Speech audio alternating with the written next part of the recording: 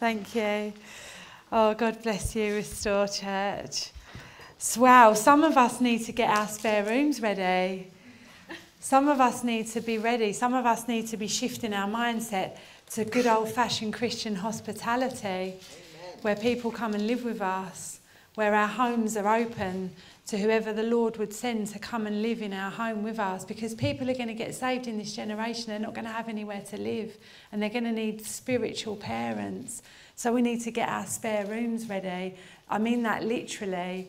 I mean, literally, think about the room in your house and would, would it be a place where a young born again Christian could flourish and be nurtured?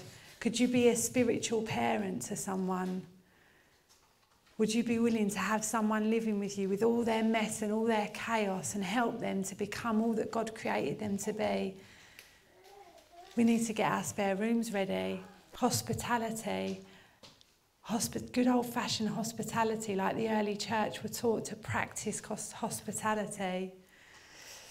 So when, um, when Ian sent an email to Rich and I about someone coming to speak here on Pentecost Sunday, Rich and I said we'd pray about it. And as soon as I as soon as I turned my mind to think about it, a question came straight into my mind. What are you doing here? What are you doing here? When Jesus asks a question, he does it to bring us to our own point of understanding. Obviously, he already knows the answer. But when a question is asked, it gives you an opportunity to think about what you understand. So, what are you doing here? This question can bring our own personal revelation. It's a simple question, but it has deep and profound and incredible implications if we can answer it. If we can really take a moment to think, what am I doing here? This question could refine us if we really know what we're doing here, we can afford to let some things go. Some things that have come into our life that are crowding out the real purpose of our lives. If we really know what we're doing here, we can let some things stay and we can recognise that God has brought this into my life for this season. And we can pay attention to those things and tend to those things. And if we really know what we're doing here, we can push into new things to come because the Holy Spirit is always birthing new things. So, Restore Church, what are you doing here? What are you doing here? What are you doing here? Well, I've been doing a bit of research to find out what you're doing here. And I'm going to tell you a story. Maybe some of you have heard this before. Maybe some of you have heard bits of it before, but I've been researching into what Restore is doing here. What is it doing here? What are you doing here? I've managed to spend some time with Mary. Who is Mary? Oh, yeah. I managed to spend some time with Mary, and she was able to shed some light on what you're doing here. So, 1984, 40 years ago, so you would have been 20. 20 years old. One of those young men who needed spiritual parents, yeah. So 1984, 40 years ago, there were a group of young people and they were meeting in the Brethren Church in Loughton. They went away together to Spring Harvest, which was a place where you would go on holiday as a Christian and there was teaching and worship. And those young people who went to Spring Harvest got filled with the Holy Spirit, baptized in the Holy Spirit. And to put this in context, the Brethren Church teach that that's not for today. That kind of manifestation of the Holy Spirit ceased when the apostles passed away. And for today, people aren't filled with the Holy Spirit. So that was a bit of a problem. When these young people arrived back from spring harvest, full of the Holy Spirit, back to the Brethren Church, it was difficult. They were filled and on fire, and they didn't want to divide the church. So, two men and five women, Mary being one of them, and those young people, they began to meet in someone's living room for worship and for fellowship and for really good hospitality. That was the beginning. That was the seed from which this has grown. And that group soon outgrew that living room. So they began to rent Lincoln Hall on Loughton High Road. And after a while of these people meeting together, people wanted to start tithing, bringing their offerings, bringing their finances to the group. So they needed a bank account. And when you open a bank account, you need to have a name. So they needed a name.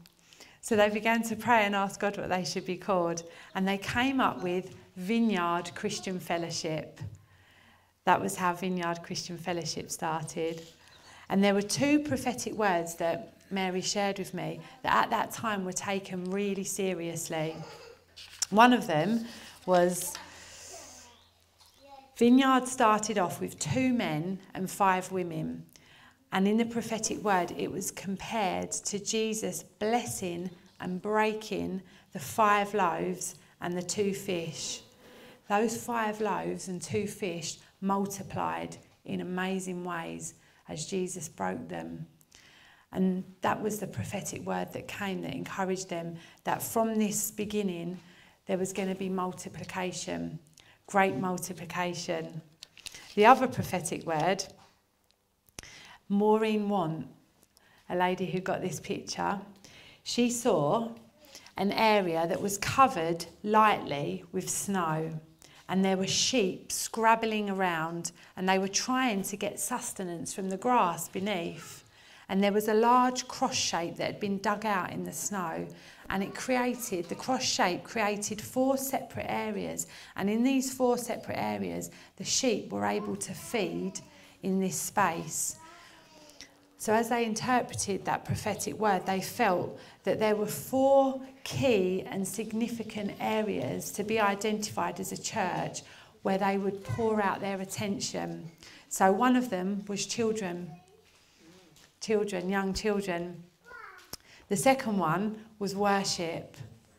So, this is what the Lord was saying to the church, the church in its inception in those early days, to pay attention to children to pay attention to worship, and Mary can't remember the other two. so when we met together, we were having a good guess at what they could have been. But I would really encourage you to dig a bit deeper around that and ask the Lord, because I feel like that has such great significance. If the Lord wants us to pay attention to something as a church, then we ought to pay attention to it. So children worship and two, we can fill in the gaps. So, with regards to the worship, about paying attention to the worship, they began to pray and fast for a worship leader. And Mary said it felt like a miracle when Wes and Mary Sutton arrived at the church. For those of you that know Wes and Mary Sutton, who were instrumental as part of the history of this church. So they arrived, this is around 1986 now, and Tony Wakelin, who was one of the men at the time, asked Wes to preach a sermon the week after they arrived. And his first sermon that he preached at Vineyard Christian Fellowship was based on um, Jesus' words, I will build my church and the gates of hell will not prevail against it. So that was Wes's first sermon. So since those beginnings of Restore Community Church, they, they, from Lincoln Hall, they broke into two congregations, one meeting in Roding Valley School, and that was led by Simon Clinton. And one led in Willingale School on the Broadway, and that was led by Mary Sutton. And I'm presuming that the Kings must have arrived at some point around here. 2001. 2001. Okay, so fast forward to 2001, the Lord sent the Kings to be part of this great church. And then over your history, met in Davenant, you've had the Restore Centre on the Broadway. This is just some of the things that I could think of when I was thinking about it. The South African church joining and partnering, Doxa Deo, Enfield, Camfield, Cranfield, Canfield, Trinity Church, Oakwood. So all these things that God's done over the span of 40 years. And when you think about that word about multiplication, two men and five women, and the multiplication, when you really think about it, if we were to lo lodge the history of what's happened over the years and the lives that have been touched and impacted, and I'm sure that there are people that you've sent to the nations to minister. I'm sure people have come through here and received healing, salvation, baptisms that would have gone taken place here. The Lord has been faithful to his word that was prophesied for multiplication. Meanwhile, 1982, over in Theydon Bois, Theydon Bois, there was a young couple. So this is 1982, so two years before 1984. A young couple, they were youth leaders at Theydon Bois Baptist Church. So this young couple, Mike and Lynn, they went away to what was called the Dales Bible Weeks. Any of you know what they are? And at the Dales Bible Weeks, Mike and Lynn were completely overwhelmed by the worship, and they came home to Theydon Bois Baptist Church, baptised and filled with the Holy Spirit. And the, that, the Baptist Church at Theydon Bois weren't too sure about that. They weren't too sure about the outpouring of the Holy Spirit and what was happening to this couple. And this couple did not want to rock the boat. But they were the youth leaders so soon after they'd experienced an outpouring of the Holy Spirit in their own life, they were praying for young, one young man in the boiler room of the Baptist church, not wanting to rock the boat. And he was baptized in the Holy Spirit. And the move of the Holy Spirit began to spread through the young people that they were working with. And in, interestingly enough, that young man who was baptized in the Spirit in the boiler room of the Baptist church now leads worship at St Mary's. It's Martin Huff, for any of you that know him. And after Martin Huff was baptized in the Holy Spirit, out of him began to pour the most incredible worship songs. He used to write songs to worship, and he still does. And when you, when you sing some of Martin's songs, the words, the, be- the way that the Lord used him, as this couple saw what was happening around them, they felt that God was prompting them to leave the Baptist church. And reluctantly, they did, not having any idea where they were going to go next. So they met in their garden to have communion. And on the first Sunday where they met in their garden to have communion, there was a knock on the door, and it was one of the young people from the youth group who they weren't trying to attract or uh, are encouraged to leave the Baptist church. But this young girl knocked on the door and said, What are you doing? And they said, We're having communion in the garden. And she said, Can I join you? And within time, there were 90 people in Mike and Lynn's living room. As without trying to, they planted a church. Without meaning to, by accident, the Holy Spirit planted a church through them. So as they outgrew their living room, they began to realise they needed somewhere to worship and to meet together. So they rented the village hall in Theydon Bois, and Theydon Bois Christian Fellowship was born. Theydon Bois Christian Fellowship went on to purchase Grosvenor Hall in Debden by some miraculous intervention of the Church of England. It was a Church of England building and they had a congregation there called St Gabriel's. The Church of England sold St Gabriel's, built, the building, Grosvenor Hall, to Epping Forest Community Church for £40,000. And there was a covenant on the land of that hall that it had to be used for the spiritual good of the community. So Theydon Bois Christian Fellowship became Epping Forest Community Church. And here we are still now today meeting in Grosvenor Hall. So I'd like to ask the same question what are we doing there? What are we doing here? And there were prophetic words that were spoken to Mike and Lynn and the others that joined them to plant the church that they also took seriously. One of the prophetic words that came was, I, from the Lord, I will be worshipped. And they felt that deep sense from the very beginning that the, the Lord was planting the church because he desired worship from his people. There was a word that came to the church that it would be significant in helping people who were suffering with addiction that lived in Debden. That it would play a significant role in the lives of those whose lives had been wrecked by addiction. That was a prophetic word that came from a man called John Barr, if any of you know him.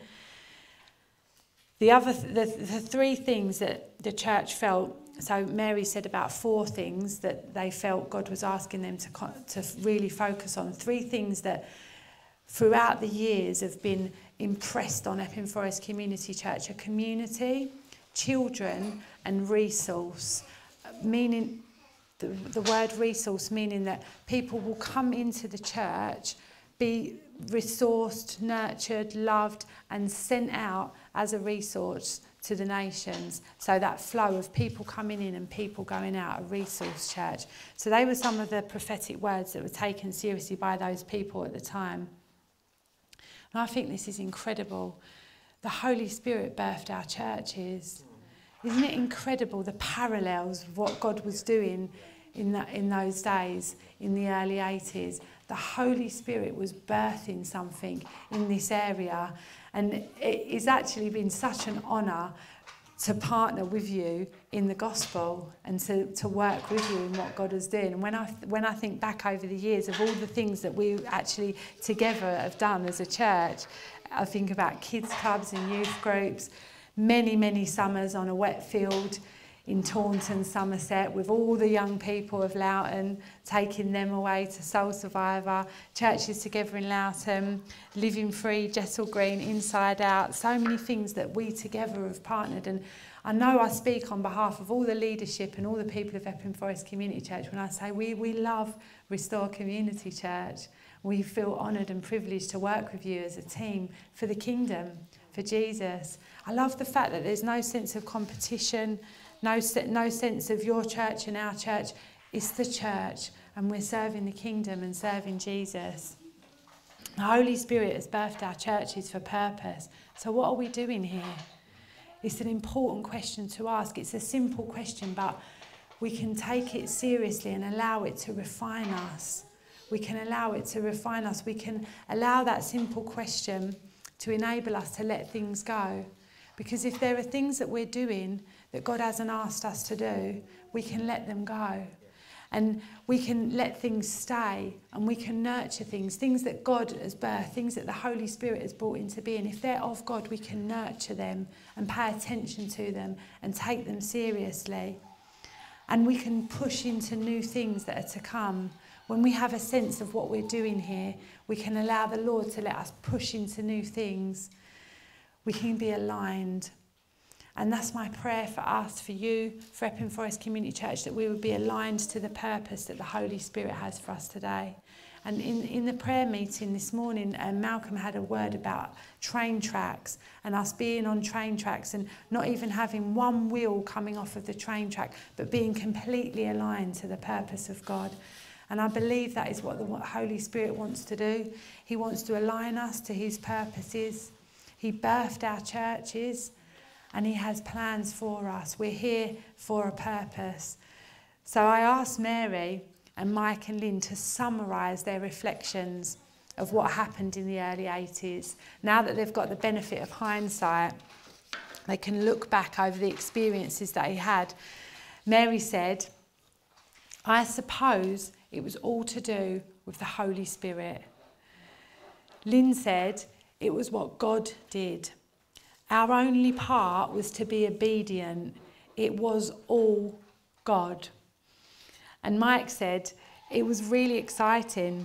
It started right from the beginning with the Holy Spirit leading us. We met, we tried to hear God, and we tried to go from there. And if anything good happened, it was because God did it. Over the year, this is Mike still speaking. Over the years, we've made mistakes. We have had our own bright ideas, and our own bright ideas have come to nothing. If the Holy Spirit doesn't say it, then don't do it. And don't let man control the church. Let the Holy Spirit control the church.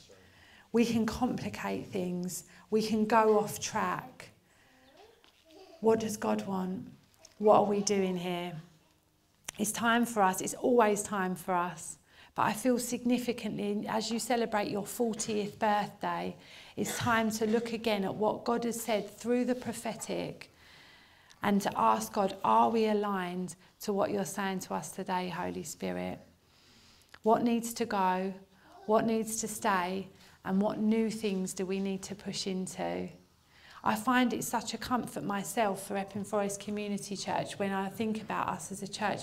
I find it such a comfort to know that the Holy Spirit birthed our church because it makes me feel that we have a purpose. Until the Holy Spirit decides it's no longer for the church to exist, we run with the Holy Spirit filling us and empowering us and aligning us to God's purposes.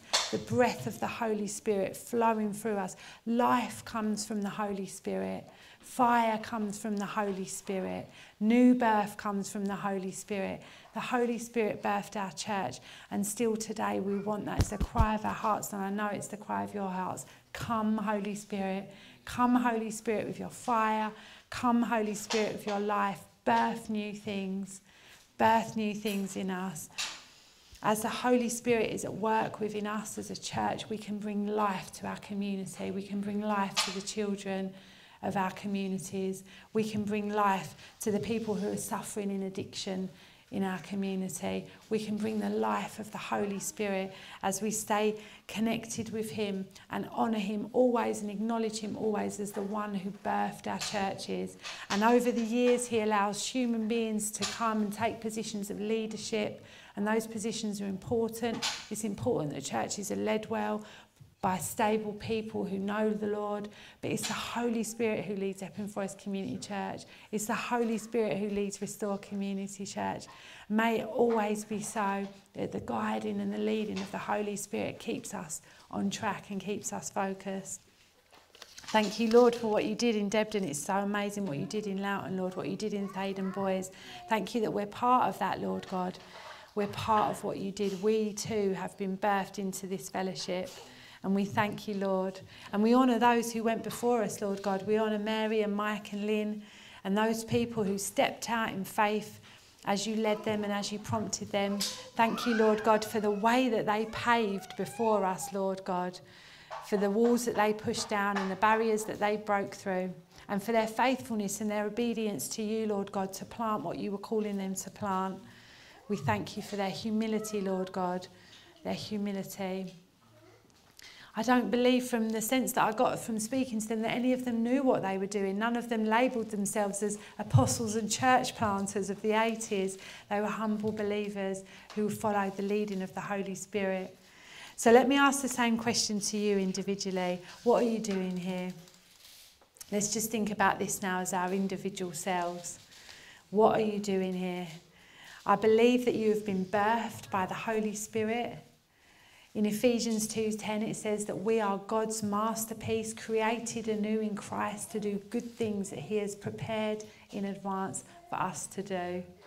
So what prophetic words have been spoken over your lives? If you've been birthed into a prophetic culture, I'm sure you would have heard the voice of God speaking to you about who you are and about what God has called you to do. I remember walking into Epping Forest Community Church for the first time ever, not really knowing what was going on. I'd only been a Christian for a week, but I walked into that prophetic culture where people were hearing from God and where people were sharing the word of God.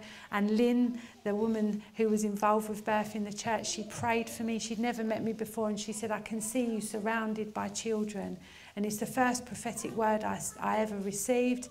And the Lord made that come the Lord brought that prophetic word to pass as I spent many years surrounded by children. That prophetic word had life to it, and the life of that prophetic word was passed on to children as the Lord used me to work with children. So, what prophetic words have come to you? What has the Lord said to you? And have they come to pass? Are they still coming to pass now, or are they to come to pass? I want us to think about Peter for a moment, Jesus' disciple Peter. When Peter was called by the Lord, he was a fisherman. That's what he did for a living. And Jesus said to him, Come and follow me, and I will make you fisher, a fisher of men. That was the word that came to Peter Come and follow me, and I'll make you something completely different. And Peter did leave everything and follow Christ. And he spent years with Jesus, being trained, watching Jesus, learning from Jesus. Jesus sent him out to do what he'd seen Jesus doing. And he did become a fisher of men. But there's something very fascinating about Peter that I want to bring up today. And it's found in Luke 22 when they're having the Last Supper together just before Jesus' crucifixion. And they're sitting together. And in Luke 22 31 and 32, Jesus says to Peter, Simon, Simon, calls him by his old name, the name that he had before Jesus called him Peter. He says, Simon, Simon, indeed Satan has asked for you that he may sift you as wheat.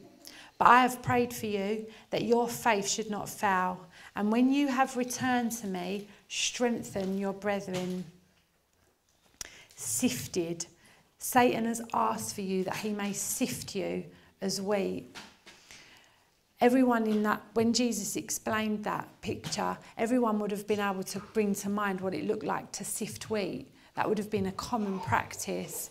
So wheat would have been sift, sifted through a giant sieve, shaken violently, so that dirt and other impurities that clung to the wheat would be separated from the wheat. It's a picture of something very unsettling. It's a picture of extreme testing.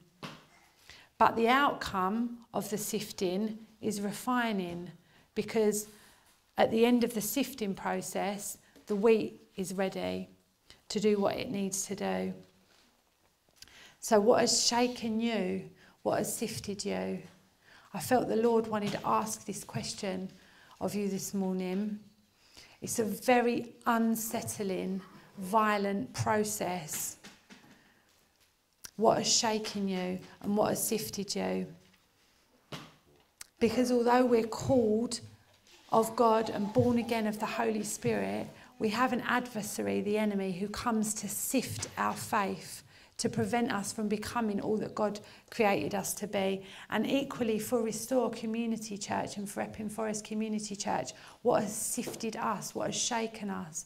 I know that the pandemic had an incredible effect on the church in terms of sifting and shaking us. It was a very unsettling time. But through that process, I believe that the Lord can refine the church. We can come out of that process of sifting refined. And the same for us as people. When we go through a time of sifting, Jesus has prayed for us that our faith will not fail.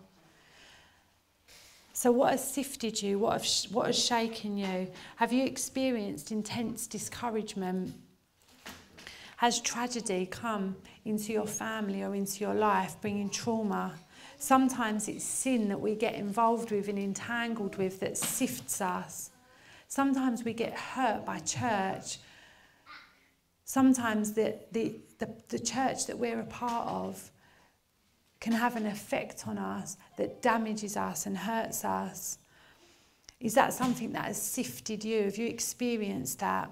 Sometimes we can get involved with the wrong relationships. We can align ourselves to the wrong people. We can have someone or a group of people in our lives and they are the wrong people. And through our connection with them and our alignment with them, it will sift us. And if we stay connected to that person or that group of people, our faith will fail. I feel that is a very strong prophetic word for someone. If you are in the wrong relationship with someone, your faith will fail. And you need such discernment and such strength to know that that relationship needs to break, it needs to end. And if you need help with that, if you need prayer to help you to end that relationship, then please do. If you know the Holy Spirit is speaking to you, please do end that relationship. Because the Lord has called you for purpose. You are a masterpiece and you have been created anew in Christ Jesus to do good works that He's prepared in advance for you to do. And if in the wrong relationship, it will completely derail and shipwreck your faith. But take heart because Jesus has prayed for you that your faith will not fail. Unforgiveness and bitterness is something that can shift, sift our faith and shake us. If we have unforgiveness and bitterness towards God or towards a partner, towards someone who is close to us, it can end up having, a, having the effect on our faith where it will be totally shaken. So I want to encourage us as a church this morning to step out of the sifting and the shaking season and step into the moment where we're refined for purpose. And where the Lord brings, brings new life and new hope and new assignments to us.